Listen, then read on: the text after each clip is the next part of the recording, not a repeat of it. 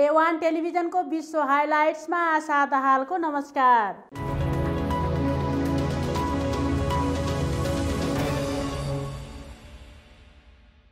सुरु गरौँ ताजा ताजा विश्वभरका हाइलाइट्सहरू। बर्मामा सैन्य शासनको विरोधमा उत्रिएका प्रदर्शनकारीमाथि गोली प्रहार। एकै दिन दुई बालकसहित अडतिस प्रदर्शनकारीको मृत्यु। दक्षिणी सुडानमा विमान दुर्घटना दसको मृत्यु केही व्यक्तिहरू घाइते।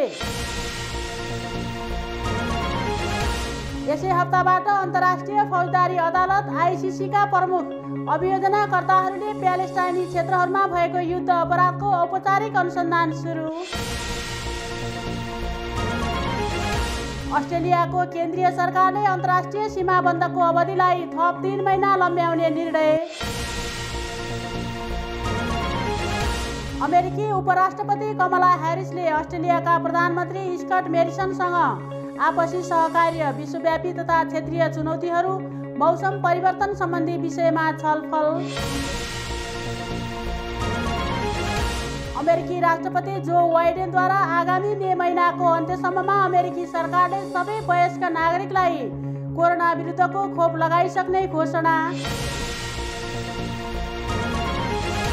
बन्ध्याकरणको शल्यक्रियाका क्रममा मृत घोषणा गरिएकी सेराफिनी इलिया क्युस्पी पेरुको दक्षिणी उच्च क्षेत्रमा रहेको कुस्कोमा अवस्थित मुर्दाघरबाट भ्युजिएको बिबिसी न्युजद्वारा जानकारी।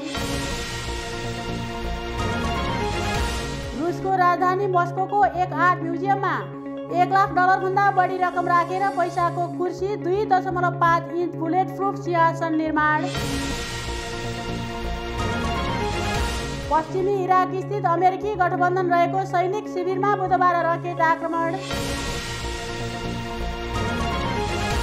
आफ्नो खल्तीमा राखिएको नयाँ आइफोन पड्किएपछि अस्ट्रेलियाका एक नागरिकले गुणस्तरको विषय उठाउँदै एप्पल कम्पनी विरुद्ध मुद्दा दायर। बङ्गलादेश सरकारद्वारा अमेरिकाको हिन्द प्रशान्त रणनीति अन्तर्गत कुनै पनि किसिमको सुरक्षा पहलमा सहभागी नहुने घोषणा। जापानिज अर्बपति युसाका माएजावाले आफूले गर्न लागेको चन्द्रमाको यात्रामा विश्वभरिबाट छानिएका आठजना मानिसलाई निशुल्क लैजाने घोषणा। र शुक्रबार बिहानसम्म प्राप्त जानकारी अनुसार विश्वमा कोरोना भाइरस सङ्क्रमितको सङ्ख्या एघार करोड सन्ताउन्न लाख पैँसठी हजार नाग्यो भने पच्चिस लाख बहत्तर हजारभन्दा बढीको मृत्यु।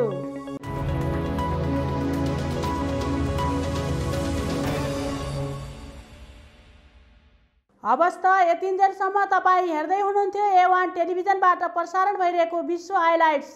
फेरि अर्को ताजा विश्व हाइलाइट्स लिएर उपस्थित हुने नै छौँ। तबसम्मको लागि बिदा दिनुहोस्। नमस्ते।